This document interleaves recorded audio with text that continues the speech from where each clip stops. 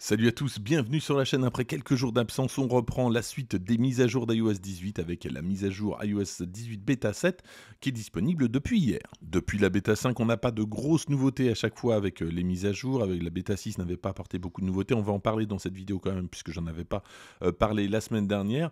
Et euh, cette nouvelle bêta est vraiment, alors on verra le numéro de version, mais en tout cas sonne vraiment la fin des nouveautés sur iOS 18. Ce qui est assez étonnant, c'est la taille de cette mise à jour 3 gigas pour une mise à jour aussi mineure, entre guillemets, puisque là on est plus dans, le correctif qu'autre chose.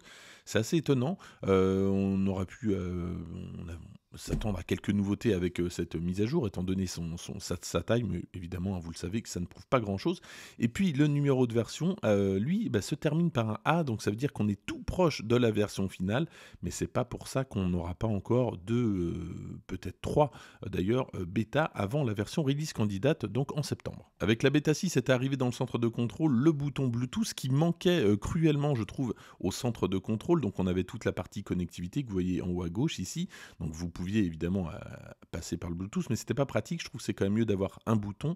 Le voici, et donc celui-ci, bah, on va pouvoir donc l'utiliser euh, pour activer ou désactiver le Bluetooth. Et si c'est un élément que vous utilisez assez régulièrement, vous allez pouvoir le redimensionner comme ceci. Alors cette semaine avec la bêta 7, on n'a pas de nouveautés concernant le centre de contrôle, mais par contre, on a des améliorations, euh, tout ce qui est correctif pour l'utilisation, la fluidité. Moi, je trouve que le centre de contrôle est maintenant nettement plus fluide qu'auparavant. Ça s'améliore de, bêta en bêta. Parfois, il y avait des, lags, je vous en avais déjà parlé Là, c'est franchement plus le cas.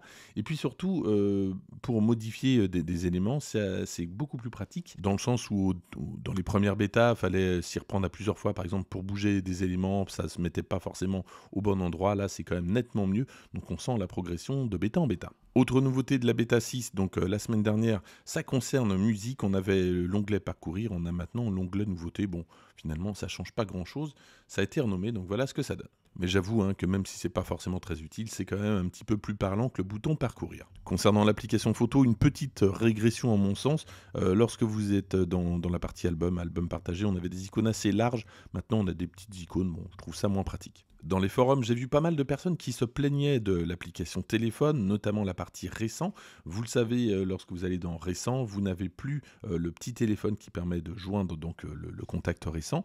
Donc, ça, ça, a changé. Si vous appuyez directement sur son icône, bah, ça va appeler le, contact, mais justement, ce qui est un petit peu embêtant, c'est qu'on a tendance à appuyer là-dessus et on a tendance donc à appeler le contact par erreur. Donc euh, pas mal de personnes demandent à Apple de remettre ce petit téléphone. Et puis d'autres se plaignent également dans le centre de contrôle que le bouton torche ne permet pas de modifier l'intensité lumineuse. Alors c'est vrai que euh, lorsque vous avez passé cette partie, voilà, donc la torche s'en va et que certaines personnes aimeraient bien directement depuis le bouton comme ceci euh, avoir avec un appui long la possibilité de modifier l'intensité lumineuse. Dans les notes de version, on apprend qu'Apple a corrigé un problème qui concerne les bruits de, de, fond. Donc il y a deux nouveaux bruits, le bruit nuit et le bruit feu, donc euh, les deux derniers dans la liste. Et euh, parfois, bah, sur certains modèles, alors je crois que c'est notamment sur l'iPad M4 euh, que ces, ces bruits n'étaient pas accessibles, donc c'est corrigé avec cette nouvelle version. Voilà donc pour cette bêta 7, un pas grand chose, mais ça va être de pire en pire, ça vous le savez, avant la sortie évidemment de la version finale.